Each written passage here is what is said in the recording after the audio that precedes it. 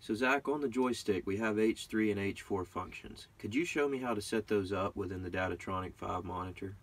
Yep, very simple functions to set up. So from your tractor home screen, you can see the box right here. We have an H3 and an H4 currently showing a couple icons on it. So right now H3 is your auto guide engage button, H4 is hitch lower. So right now those functions would be very easy to use right under your thumb, say you're controlling valves 1 and 2 at the same time. So we want to go in and make a change to those settings. We can simply tap the box, which takes us into the menu here where we can actually set those functions up. Or from the home screen, we can go into our main menu, find the joystick icon, which just looks like the joystick on the armrest, and we're into the same page.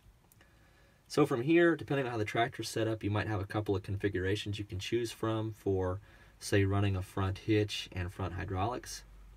In the upper corner, we have a box that's going to allow you to choose the hydraulic valve that controls, or that is controlled by the hydraulic button at the rear fender of the tractor. For instance, right now we're on valve 2. And this valve is saved in the operator profile. Here in the lower corner, we actually have an image of the joystick. And you can see the H3 and the H4 buttons. This is where you would go to actually make a change to what those buttons do. So say we don't want H3 to be an auto guide engage button, we actually want to make that a different function.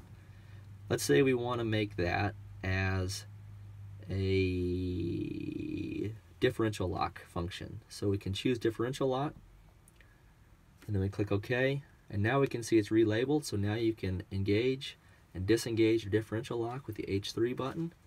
And let's say H4 we want to run a hydraulic valve. So let's say H4, we want to put remote number 1 into float. So we'll just take a look at remote 1, choose float, click OK. And now when we go back to our home screen, you can see these are relabeled as diff lock, valve 1 into float. Very simple process to make the change.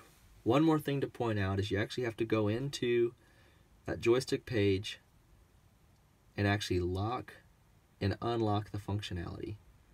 So if you're locked, the buttons will not be functional. If you're unlocked, that's when you actually can make the controls.